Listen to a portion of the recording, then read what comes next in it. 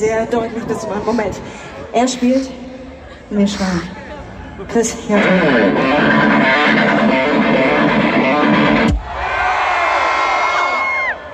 Könnt ihr das noch lauter?